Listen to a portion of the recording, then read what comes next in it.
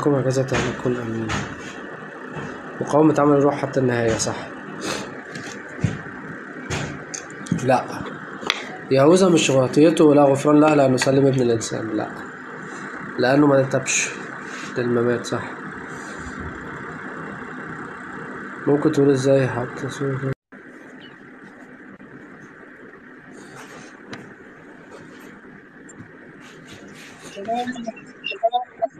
سلام مساء يوسف اتفضل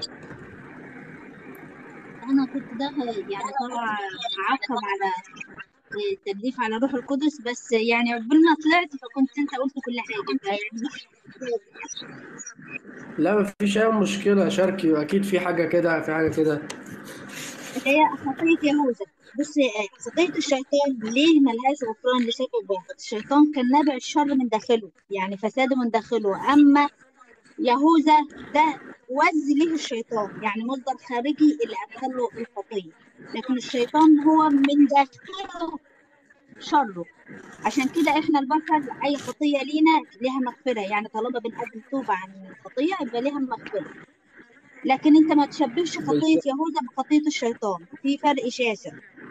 إحنا عندنا الشيطان اسمه المعاند المعاند آه الذي شق يعني عصى عصى ربنا يعني لا مش فكرة عصيان كمان عصيان وتكبر يعني كبرياء من أسقطه وكبرياء ده كان داخله هو.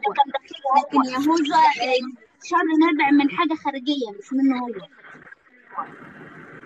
بالظبط عشان كده لو كان تاب تسليمه للمسيح كانت هتتغفر ما كانش هتعتبر شيء. كلام مظبوط. كلام مظبوط جدا جدا. فعليا توبته كانت نهاية الموضوع لكن للأسف هو بدل ما يتوب ربنا يحفظنا من الشعور ده. بدل ما يتوب راح ينتحر. عشان كده أي إنسان مهما غلط اتفضل. هو فقد الرجاء فلما فقد الرجاء يعني الشيطان تسلط عليه للنهاية. يعني هو حتى انتحار يهوذا ده تسلط للشيطان للنهاية. تسلط على حياته أخذ روحه للهوية. بالظبط يعني عايز أقول لك على الصديق ده الصديق ده آه والصديق الخطية عامة اللي حصل إن التلاميذ في اللحظة دي لما المسيح جه يقبض عليهم سابوه كلهم. ويهوذا كان هو اللي مسلمه. بطرس ويشتم ويسب. ومرقس رسولنا رسول الكنيسة القبطية عمل إيه؟ هرب عريان فالكل سابوه. طب ودول كلهم تابوا وحسوا إن إحنا بني آدمين بنغلط. بس بني آدمين بنغلط نتأسف ربنا. نعتذر له على الغلط. الوحيد اللي ربنا يحفظنا من الشعور ده أنا إزاي أغلط؟ أنا إزاي يتقال إن أنا غلطت؟ أنا إزاي أشوف نفسي غلطت؟ حبيبي كلنا بنغلط. كلنا بنغلط. بس الشاطر اللي يقف كده أهو ويقعد مع نفسه يقفل أوضته على نفسه ويراجع نفسه مع ربنا. آه أنا بغلط. هو أنا ده, ده لحم ودم ولا مش لحم ودم؟ لحم ودم. هو طبيعي إن أنا أغلط بس مش طبيعي إن أنا أتمادى في الغلط. إحنا عندنا آية في العهد عندنا آية في العهد القديم بتقول الصديق يسقط سبع مرات ويقوم والشرير يعصره شره يعني إحنا لما بنسقط إحنا لو الروح القدس يبكتنا ولا نعاند الروح القدس دايما هنقدم توبة مستمرة وجهاد مستمر ضد الخطية. لكن لو عاندنا تمام. القدس إلى الممات. يعني أنا بعمل خطية وعاندت الروح القدس بيبكتني عليها واعتبرتها إنها مرتين حياتي. حتى ما اعتبرتهاش خطية بعد كده لأن الإنسان لما بيتعود على خطية بيعتبرها إن هي حاجة عادية بعد كده لما يعود نفسه على الخطية. فهيموت في خطيته بالظبط. اسمها هيموت في خطيته. بالظبط. حتى الممات يموت في خطيته.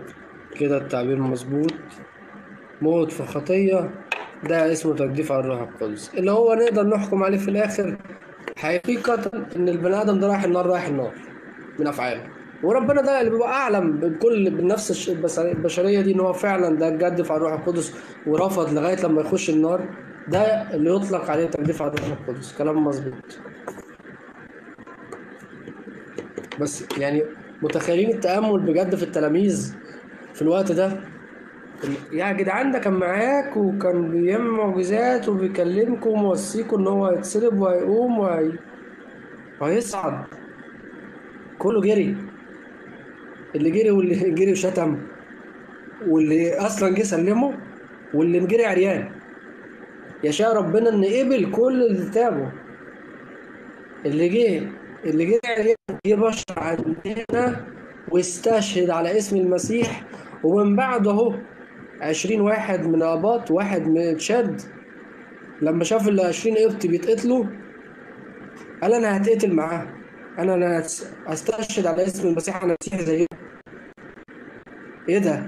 معقولة إن الراجل اللي جري عريان ربنا قبل توبته برغم إن هو هرب في الأول قبل توبته إن هو يبقى مبشر عظيم يبشر مصر والخمس مدن الغربية والخمس مدن الغربية على فكرة معنى خمس مدن غربية يعني خمس مدن كانوا زمان بلاد يعني بلاد في الوقت ده. يعني مبشر حوالي ست ست بلاد. هو نفسه اللي جري عريان في الأول؟ آه. متخيلين؟ زي ما كان شاول في الأول مضطهد. ربنا قبله وعكسه للناحية التانية. شاول بشر في في إيطاليا وبشر في معظم دول أوروبا. ربنا بيقبل كل من يتوب. اتفضلي. ونفس الحكاية لما نشوف التلاميذ والرسل هم نفس الناس اللي هربوا هم نفسهم اللي دفعوا عن الإيمان وبكل قوة وضحوا بحياتهم.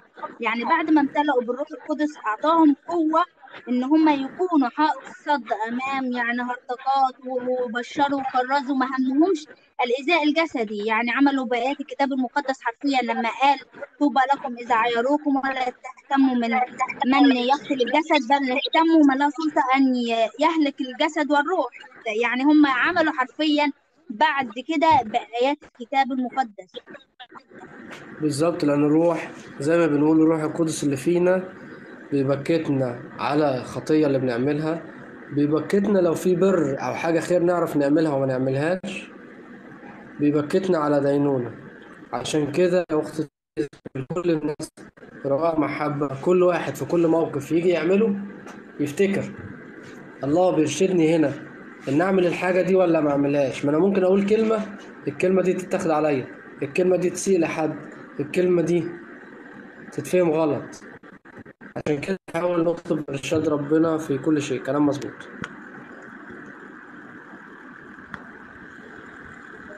أخويا اللي معلق أنا معرفش صراحة أبونا أرميا قال إيه عشان كده مش هقدر أرد عليه. طب نتابع كده لأن في 78 تعليق. أشوفهم ونرد. خطية يهوذا خطية استثنائية غير مكررة وغير معتادة ولا يوجد لها جذور أو ساق. زيه زي أي خطية. يعني هو يبقى أحسن من اللي سب أكتر من اللي سب وشتم كلهم كانوا خطايا. سلام رب المجد سلام رب المجد بص حبيبي أنت بتاع الخطيه الغير معتادة حط لنا صورة البروفايل الغير معتادة بتاعتك عشان نعرفك. لا تطفئ الروح هل معناها رفض تفكير الروح؟ القدس رفض عمل المؤمن. رفض عمل لا تطفئ الروح دي معناها تقليل عمل الروح القدس في حياتك. يعني رفض عمل الله في حياتك.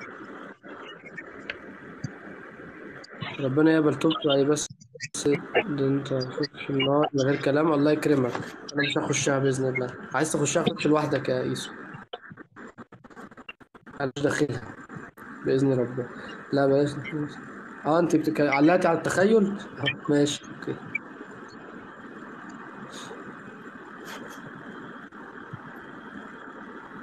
ان شاء الله يا جماعة أنتوا عملتوا الناس دي بلوكات ولا لأ؟ طب الواد ده عدى من mute إزاي؟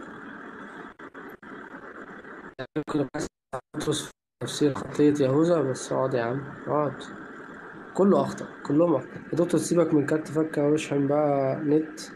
صدقني عنده واي فاي راوتر يعني ربنا. اب تو سيرتي ممكن إزاي حط صورة ربك أنتوا شفتوا فين؟ طب لما تحط صورتك انت الأول أبقى أعرفك الرد. بدي حبيب مين مستعد نرتبط؟ إيه الشربات ده؟ الشربات ده.